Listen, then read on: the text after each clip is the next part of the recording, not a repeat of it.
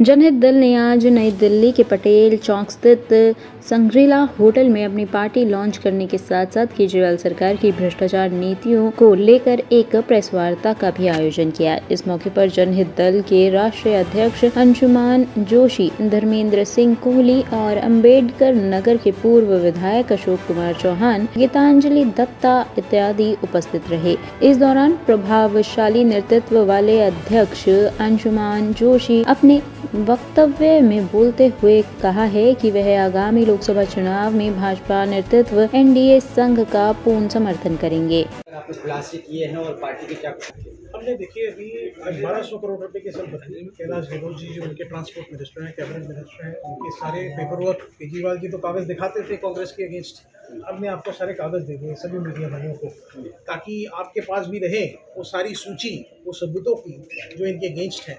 और हम अभी जल्दी ही माननीय सर्वोच्च न्यायालय के चीफ जस्टिस ऑफ़ इंडिया को रिक्वेस्ट करेंगे कि इसमें जाँच करवाएँ, निर्देश दें। और उसके साथ में हम गृह मंत्री जी को भी रिक्वेस्ट करेंगे और हमारे माननीय जो हमारे गवर्नर हैं, उन साहब गवर्नर साहब को भी हम रिक्वेस्ट करेंगे कि इसके अंदर यू नो उच्च स्तरीय जाँच कराएँ स्पेशल जाँच कराएँ, ताकि इसमें बहुत सारे सबूत हैं जो हमने दिए हैं और उसकी हर एक रेवेन्यू रिकॉर्ड है, हर एक प्रॉपर्टी का। हमारी पार्टी के मुद्दे देखिए, हम लोकसभा चुनाव पर लड़ेंगे आप लोकसभा में हम माननीय प्रधानमंत्री जी को सपोर्ट कर रहे हैं।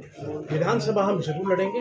दिल्ली से इसको केजरीवाल को केजरीवाल की पार्टी को हटाने में पूरा पूरा काम करेंगे। हर विधानसभा में हर घर घर में ये सबूत पहुंचवाएँगे। सर आपके जो रिकॉर्ड है इसका क्या प्रूफ है? इसका देखिए एक एक इसके अंदर जो रेवेन्यू नंबर केवत नंबर लिखा है। केवत नंबर आप चेक कर लीजिए जो उनके वहाँ पे रेवेन्यू रिकॉर्ड मिलेगा वो आप मैच कर लीजिए आपको मिल जाएगा।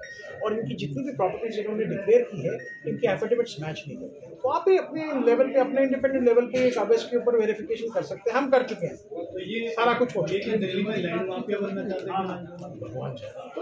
यहाँ लोगों के पास रहने के लिए मकान नहीं किराए पे लोग बेचारे घूम रहे हैं और इनके पास प्रॉपर्टियाँ इतनी। ये देखिए ना पूरा पूरा गाँव खरीद कई गाँव। क्या एक के बाद एक आप गाँव खरीदे जा रहे हैं प्राइम लोकेशन पर और उनका जो वैल्यू है एक्चुअल वैल्यू वो जो सर्कल रेट से कहीं ज़्यादा है। कैसे आप वो खरीदते जा रहे हैं?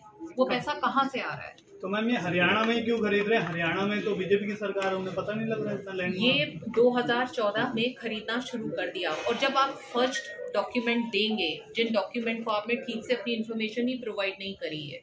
कि उसके अंदर कुछ अपनी बीवी के नाम कुछ अपने और रिश्तेदार कुछ और रिश्तेदार के नाम और वही जो कंपनीज़ हैं उन्हीं में पैसा घुमा घुमा कर आपके पास आ रहा है। और वो भी अपने घर की कंपनी और अपने घर की कंपनी और अपने ही घर वालों को लोन दे रही है ज़ीरो परसेंट इंटरेस्ट पर। सर जिस तरीके से वो चुनाव से पहले मैं आपको बताता हूँ। उन्होंने एक बात कही थी कि एक हज़ार रुपये महीना महिलाओं को देंगे।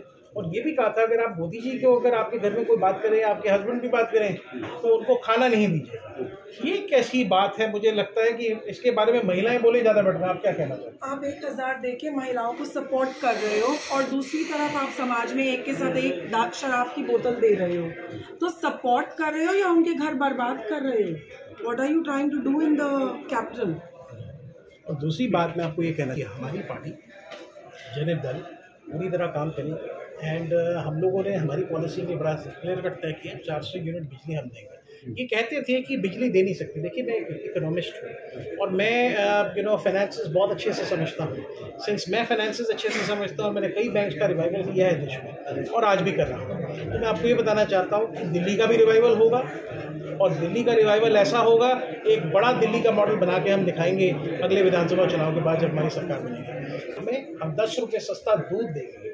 शराब नहीं बांटेंगे जैसे इन्होंने जगह दे रहे थे। आप दे रहे थे? आप बच्चों को दूध नहीं दे पाए। वो कैसी स्कीम है एक लाख रुपए तक की जिनकी सालाना आय है हाँ। या बिल्कुल भी अगर आईटीआर नहीं बढ़ती हैं तो सब लोगों को पाँच हज़ार रुपये महीना देंगे सत्तर हज़ार करोड़ का बजट है।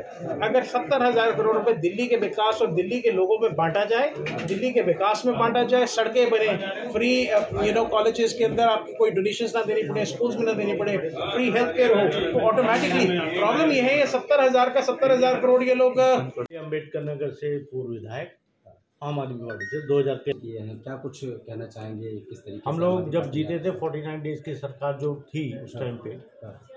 उस टाइम हमारे नाम भी एक बहुत बड़ी जीत थी चौधरी प्रेम सिंह द्वारा ने।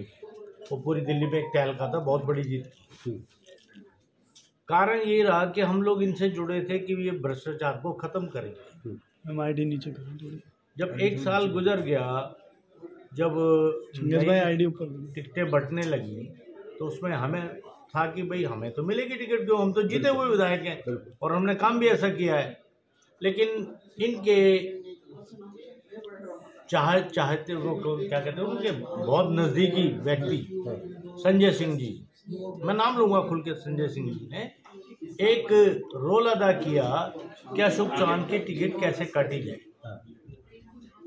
जो अभी मौजूदा विधायक हैं हमारे अंबेडकर नगर के उनको वो टिकट एक करोड़ चालीस लाख में बेच दी। ये मेरे को किसी ने बताया था कि ये भाई साहब आप पार्टी चेंज कर दो आपकी टिकट ये काट चुके हैं। किसके थ्रू बेच भाई आईडी है? कर दो बोल रहा है है तो नाम? संजय सिंह का नाम लिया ना। अच्छा। तो उसी कारण हमने ये पार्टी को त्याग दिया था। हाँ, और वो भड़ा जो आप निकली है जो लोकसभा के चुनाव चल रहे हैं इस दरम्यान पता चला कि केजरीवाल जी को जेल होने वाली है। लेकिन ये तो अपने आप को कट्टर ईमानदार बताते थे शुरू से। नहीं, कट्टर ईमानदार की वजह से तो हम इनसे जुड़े थे। हाँ, भाई जुड़ने का कारण यही था ना कि भ्रष्ट लोग नहीं है अच्छे लोग हैं। हाँ, और ये अच्छा काम करेंगे दिल्ली में। हाँ। उसी कारण जुड़ जुड़े थे। और पहली भ्रष्टाचार तो इन्होंने हमारे पे ही कर दिया। हमारी टिकट काट कर। हाँ। तो हमारे मन में तो भड़ास थी ना कि भाई उस समय आएगा वो समय आ गया। तो हमने भी अपनी भड़ास निकाल दी है धन्यवाद। माध्यम से। आपने कुछ खुलासे किए थे कि आपके घर से अरविंद केजरीवाल जी ने शुरुआत की थी? क्या था पूरा मामला बताएँगे जब शुरुआत करी थी तो इन्हें भरोसा नहीं था कि दिल्ली में हम लोग इतनी सीटें ला पाएँगे। क्योंकि संतोष का बलिदान बहुत इन लोगों ने बनाया।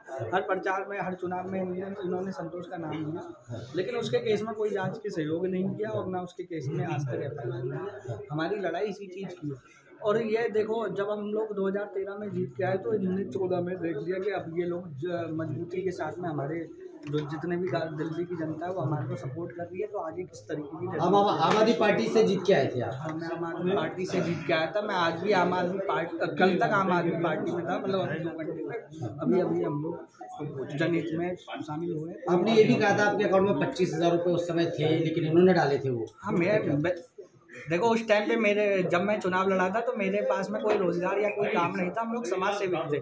ना ही मेरे परिवार में कोई इतना बड़ा रईस था कि चुनाव लड़ने में मेरी मदद कर सके। सिर्फ़ संतोष के काम में, संतोष ने जो लोगों की मेहनत और सहायता करी है, जैसे राशन को लेके और पहचान पत्र और उनके बच्चों के एडमिशन है और हॉस्पिटलों में उन्हें दवाई और इलाज दिलवाने जितना भी काम सर झुग्गी झोपड़ियों में से लेके और पूरे हिंदुस्तान में संतोष कोहली ने किया है। उसके दम पे मैं जीता था।